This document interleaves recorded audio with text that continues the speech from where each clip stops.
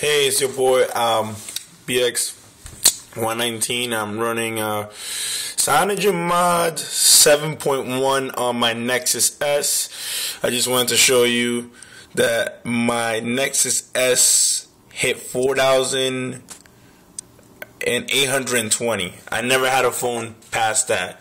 My prior phone was 1620 which to 635 on my original droid and my next and my galaxy s phones didn't even pass 2700 even overclocked at 1.6 or 7 gigahertz. And my g2 the most will pass probably 3200 when it's overclocked from 1.7 to 1.9 gigahertz. Uh, now this one is running 1.5 4 gigahertz, which is 1544, um, 1544,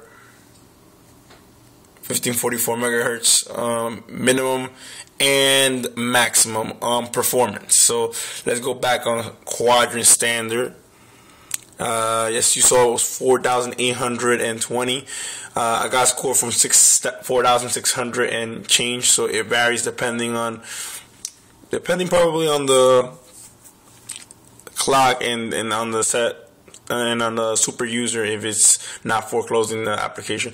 Now the uh, frame per second is 65 in the bottom as you can see and then the frames of the um, picture in the background as it moves it tells you how many times it um, how many times the frame is moving around the area of the uh, thing. So right now got 3000 and, and wow that's pretty weird.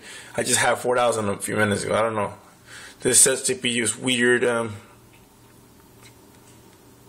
let's go back again. That that was a weird number, 3,012. But let's go back again so you will see that this is a fluke.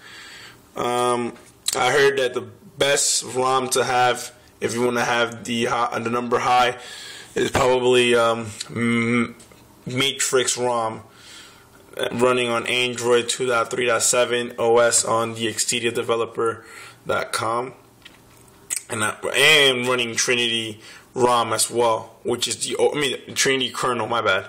Um, that's what I'm running at 1.554 gigahertz instead of running a 1.444 that comes with CM7. So this is the number now. As you can see there, uh, 5,112. I think that's pretty damn high for a device. I never had a device passing 3,200, and that was on the G2. And then on the Galaxy S phones, I ran 26, 2700 at most and this is my Nexus S. I'm running pretty much the highest I ever had on the device. This is higher than even the um, the Galaxy S2 off. I mean, on stock. On stock is about four thousand, if not maybe four thousand two hundred. But this is pretty high for a device, in my opinion.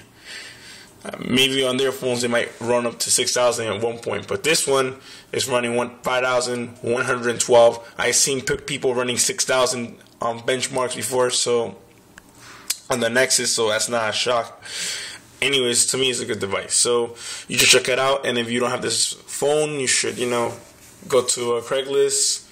You know, maybe check your options if you think this phone is low um low end. My opinion is pretty high end. The only thing I don't like about this phone is probably that it does not have a LED notification, but it has front face camera. It has everything I like. So see you guys later.